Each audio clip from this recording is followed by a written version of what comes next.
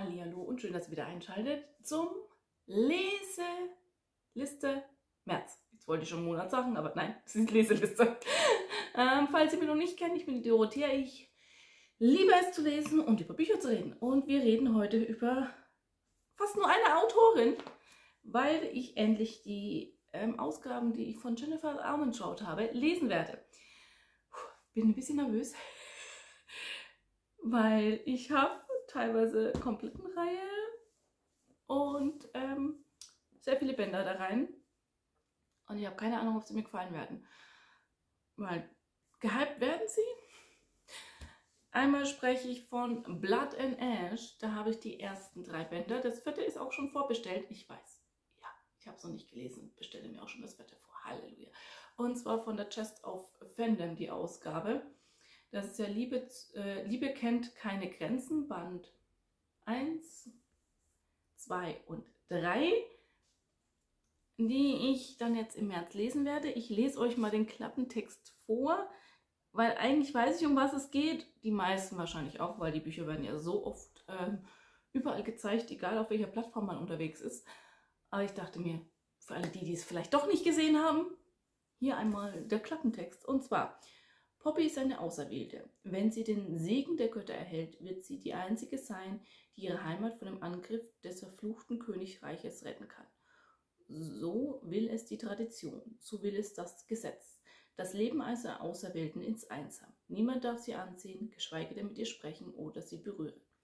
Eines Tages wird der attraktive Hawk mit den goldenen Augen, dem frechen Grinsen und den provokanten Sprüchen Poppys Leibwache zugeteilt und sie merkt, dass es in ihrem Leben so viel mehr geben könnte, als nur ihr ahnt. Dass sie ein Herz hat, eine Seele und die Sehnsucht einer ganz normalen jungen Frau. Als an den Landesgrenzen die Schatten der Verfluchten immer drohender werden, muss Poppy sich zwischen Liebe und Pflicht entscheiden. Ja, ich bin gespannt. Dann gibt es ja eine Auskopplung, die habe ich auch schon. Chateau and Amber, eine Liebe im Schatten. Ähm, den Klappentext habe ich mir nicht durchgelesen, gelesen, so.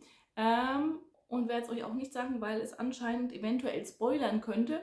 Und da ich mich weder mich noch euch spoilern will, aber ich habe sie auch von der Chest of Fandom da. ja. Ähm, deswegen, die werde ich jetzt im März endlich lesen. Es sind verdammt dicke Klopper. Ja. Aber wie ihr wisst, dieses Jahr mache ich ja immer nur zehn Bücher pro Monat, die ich auf meine Liste setze und dann schaue ich mal. Und dann kann ich auch solche Klopper draufsetzen, weil das schaffe ich. Sollte ich schaffen. Und weil ich ja gesagt habe, Jennifer Armentrout, also kommt natürlich auch meine Luxus-Collection von der Bücherbüchse dran. Die, äh, jetzt will ich schon wieder Wicke 3, das ist nicht die Wicke, äh, zwischen Liebe und Licht war das nicht? Äh, zwischen, eine Liebe zwischen Licht und Dunkelheit, so heißt die Reihe. Da habe ich auch alle vier Bände. Kommt dieses Jahr auch noch ein fünftes Band raus. Ich weiß nicht, ob das jetzt wirklich dazu gehört oder ob das eine Auskopplung ist. I don't know. Und ich frage mich halt, ob die Bücherbüchse dann auch nochmal so in der Art was rausbringt. Ja, lasse ich mich überraschen. Ähm, ich lese euch auch dann einmal den Klappentext zu Band 1 vor. Und zwar auf den ersten Blick ist Ivy Morgan eine normale junge Frau. Sie genießt den Studentenleben in New Orleans und ist seit dem tragischen Verlust ihrer ersten großen Liebe überzeugter Single. Nur wenige ihrer Freunde wissen, dass Ivy einem Orden angehört, der die Menschen in New Orleans vor übernatürlichen Wesen schützt. Eines Tages wird Ivy von einer Fee angegriffen und schwer verletzt. Schnell ist klar, dass sie bei dem Fehlangriff nicht mit rechten Dingen zugegangen sein kann. Deshalb schickt der Orden seinen Edelmann Ren Owens nach New Orleans, um die Sache gemeinsam mit Ivy aufzuklären. Ren ist attraktiv, arrogant und flirty. Alle Dinge ist Ivy gehörig auf die Nerven gehen. Doch er ist auch genauso verboten sexy, dass sie ihm schon bald nicht mehr widerstehen kann. Ja, ich bin gespannt. Bei der Collections waren auch Lesezeichen dabei. Bin immer noch mal überlegen, ob ich sie benutze. Huh, die, die, die tun hier schon ganz schön spiegeln. Oder ob ich die einfach in meine Collections eintue und ähm, ja, sie nie benutzt werden, damit sie nicht kaputt gehen. Ja. Und wer jetzt richtig mitgezählt hat, dachte ich so, ja, aber das sind nur acht. Genau.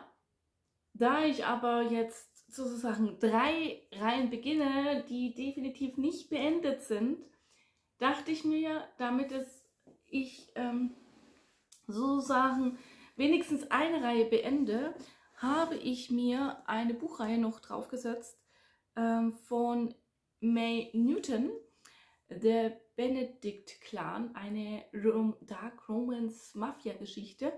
Und das Band 2 und 3 fehlt mir noch, dann wäre die abgeschlossen.